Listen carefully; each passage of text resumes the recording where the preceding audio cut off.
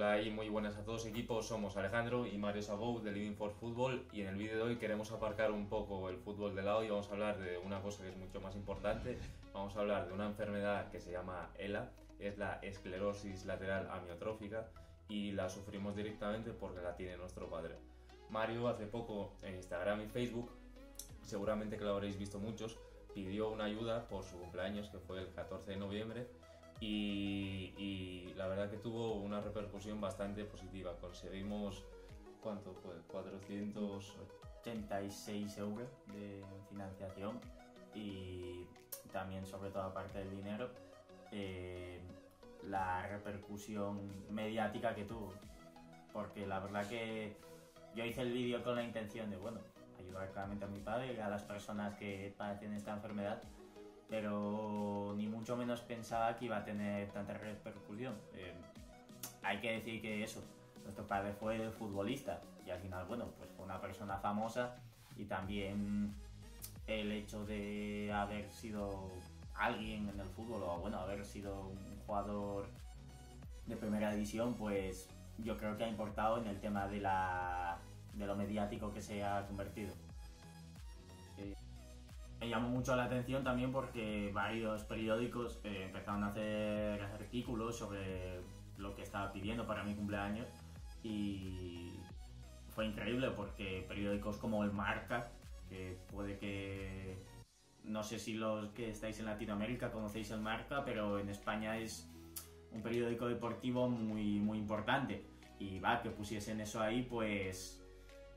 Pues me gustó, me gustó porque al final me di cuenta que estaba llegando mucha gente. Luego también tuve la suerte que fui a la radio, una radio de aquí, de, de Asturias, la SER, y que también tiene que ver con el tema del fútbol. También tuve la suerte de que compartieron bastantes, bueno, bastantes futbolistas eh, de tercera, segunda B, primera división, segunda.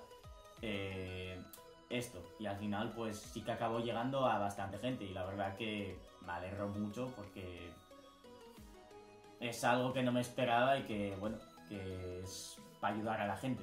Bueno, el ELA es una enfermedad eh, degenerativa. Eh, afecta a las dos motoneuronas que tenemos. Básicamente esta enfermedad lo que hace es que poco a poco eh, los músculos vayan perdiendo fuerza. Es decir, que tú, por ejemplo, mismamente coger un lápiz o intentar coger el tenedor para comer, pues acaba haciendo bastante difícil. ¿Qué pasa? Esto es lo que le sucede a mi padre y a muchas otras personas.